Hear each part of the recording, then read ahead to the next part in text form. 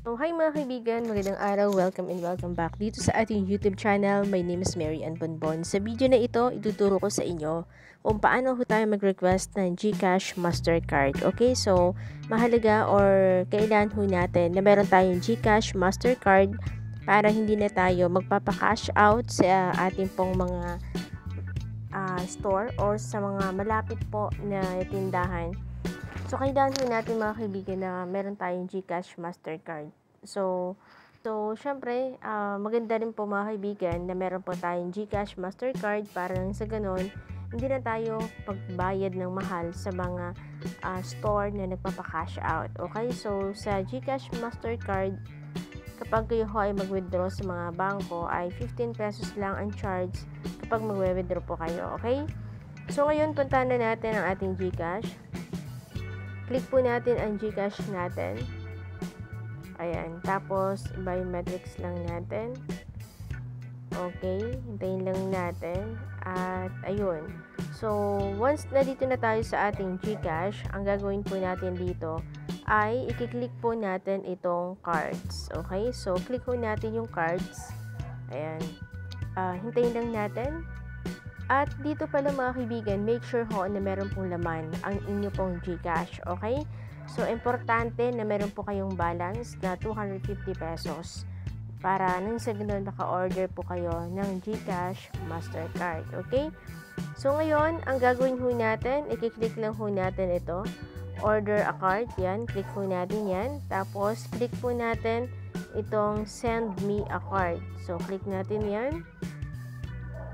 And dito pala mga kaibigan, uh, dapat ay um, accurate or tama po ang inyong mga ilalagay na pangalan. Okay, so makikita ho natin, ito po, meron po siyang 250 pesos. Okay, then next, click ho natin yan.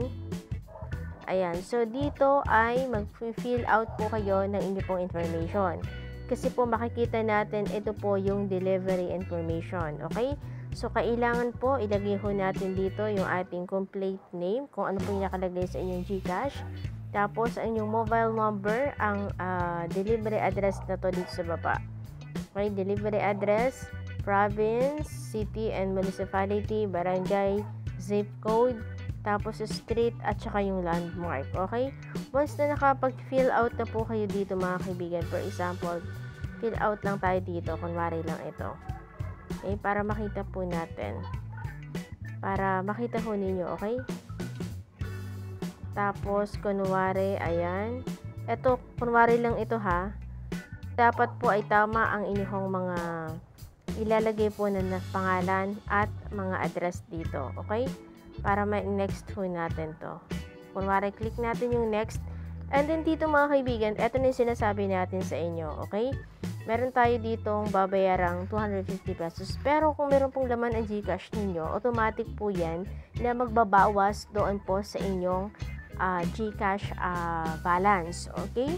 Natin dito guys ha, sa card fee breakdown ay makikita natin dito yung Gcash card 185 pesos yung card protect zero na siya and then delivery fee na 65 pesos kaya naging 250 pesos. Once na okay na mga kaibigan, click nyo po yung maliit na square na yan.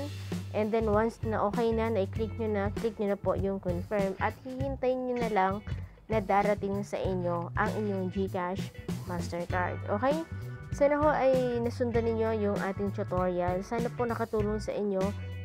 Kung nakatulong man, huwag kalimutang i-click ang subscribe button pati na rin po ang notification bell para lagi kayong updated sa ating mga bagong uploads. Kung meron po kayong mga katanungan, please uh, comment down below dun sa ating comment section at sasagutin po natin sa abot ng ating makakaya. Maraming salamat mga kaibigan. See you on my next vlog.